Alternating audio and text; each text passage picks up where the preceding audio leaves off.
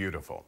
Tonight, one of the country's biggest employers has put out the Help Wanted sign.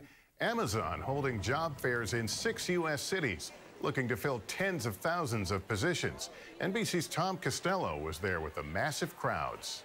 The lines were so long they stretched down city blocks and into a tent.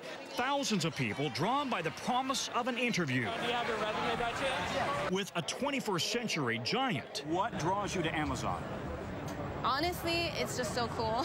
At this point, it's a very cool name and it's growing. Today's Amazon Career Day held in six cities Arlington, Virginia, the future home of Amazon's HQ2, as well as Nashville, Boston, Dallas, Seattle, and Chicago.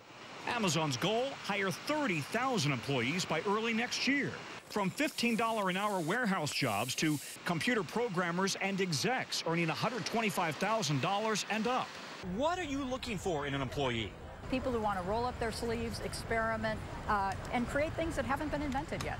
Aminata Gano just graduated from college with a computer science degree. It's the future, technically, so it'll be exciting to work here. This jobs fair comes in the middle of a very tight labor market. Unemployment now at a 50-year low with Amazon struggling to find qualified employees. And it's not just Amazon. The greatest demand is for healthcare workers, technology workers, education uh, employees, those areas of the economy that demand higher skills than average.